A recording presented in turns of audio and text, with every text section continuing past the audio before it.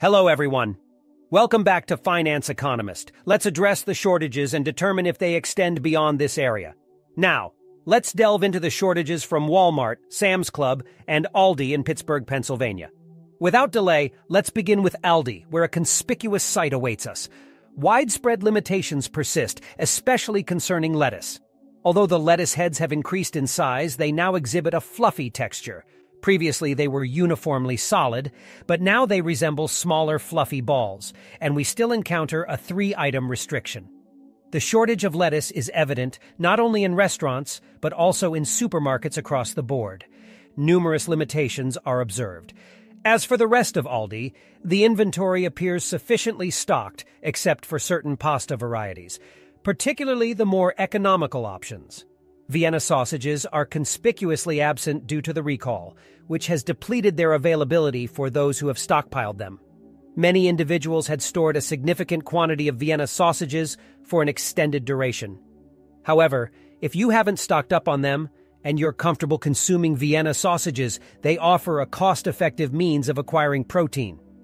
Personally, I consider them one of my favorites among pork products, Despite pork prices purportedly being down, certain bacon varieties continue to face challenges in terms of availability.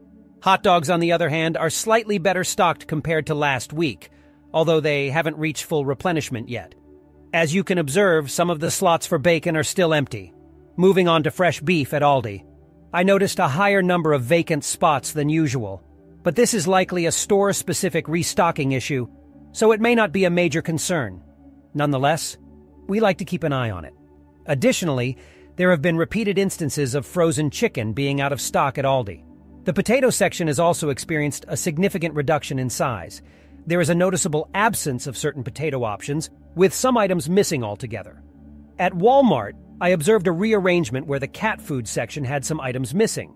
Dog food, on the other hand, is relatively better stocked, but the treats for dogs are heavily depleted and inadequately stocked, the primary concern lies with the availability of canned cat food, although there has also been a significant kitty litter has uses supply. beyond cat care, as it can be utilized for chemical absorption and other purposes, particularly the unscented variety, which is essentially clay. It is commonly employed for cleaning up gas spills and similar incidents. Although the stock of canned cat food remains lower than ideal, it seems that one can still find what they need to some extent.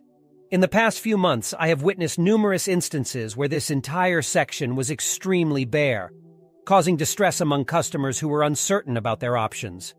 However, it appears that most items in this area now have at least some inventory on the shelves, although some individuals may still encounter difficulties. There is a concern regarding the shortage of laundry detergents. However, artificial creamers, including creamers for coffee, are adequately stocked with the shortage likely being a restocking issue rather than a significant supply problem. Heavy cream and similar products appear to be in better supply compared to previous months. Chocolate milk, on the other hand, has been more challenging to find, with relatively low stock observed in various locations. For instance, both Aldi and Sam's Club lacked chocolate milk. This seems to be a widespread issue affecting multiple stores. Overall, milk availability has improved, but 2% milk is facing some challenges. There are also noticeable gaps in stock for sour cream and sour cream dips, which may indicate a broader issue with sour cream availability. We encourage you to share your observations regarding these products in your local area. Butter and margarine continue to experience slight difficulties, but for the most part, you can find the products you need, albeit with some specific varieties encountering supply issues. Eggs are priced at 2.38 per dozen, although prices may vary depending on your location. The cost of eggs is gradually decreasing, and Walmart appears to offer the lowest prices for eggs. Hopefully, this information proves helpful to you. There are some issues with the availability of name brand oatmeal, although generic oatmeal is also experiencing low stock. However, there are still supplies of oatmeal on the shelves. Certain cereals, particularly larger bulk bags, are becoming harder to find, with more frequent outages compared to the past. The larger bags of sugar are wiped out, but there is an ample is prominently displayed, but the great value vegetable oil and soybean oil are not as prominently featured. It seems that there is not a significant overall problem with oils, but there is a higher demand for vegetable oils in the production of biodiesel, leading to a lower availability of soybean oils and canola oils. This is based on reports I have come across. Moving on to the panic meter, which refers to ramen noodles, it appears to be relatively well stocked. Despite the ongoing panic, there doesn't seem to be a widespread rush on grocery items like ramen noodles. Pasta appears to be relatively well stocked, with only a few minor issues here and there. However, at Aldi, there are more noticeable gaps and limitations in spaghetti sauce availability. It may be necessary to consider different brands or flavors, but the situation is not too severe. Green beans and some other vegetables show a lower stock level, with certain varieties not being restocked. Nonetheless, alternative options are available.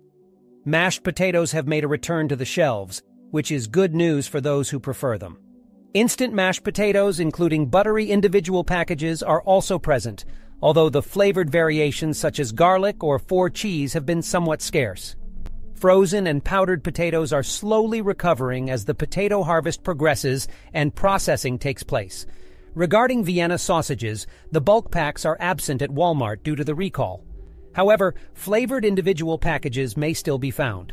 Canned chicken experienced a temporary shortage, but has since returned to the shelves.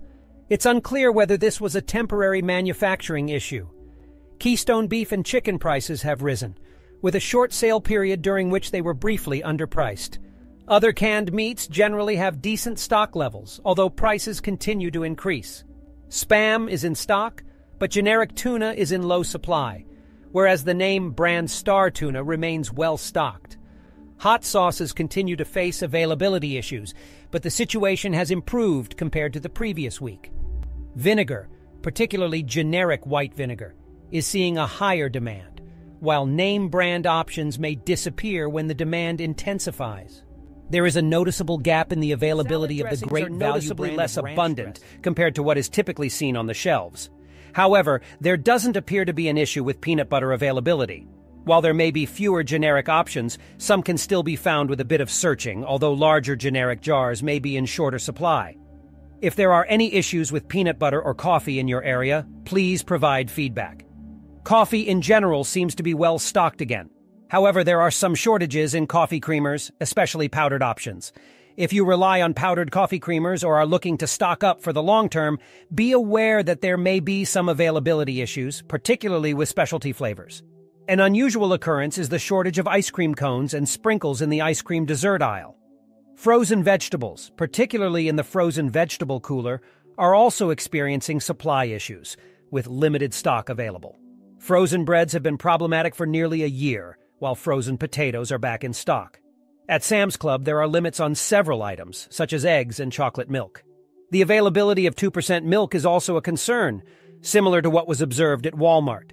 The stock of 1% milk is relatively low, but it's unclear if a new pallet needs to be replenished. Please share your observations and experiences with the availability of these items in your area. Thank you for watching.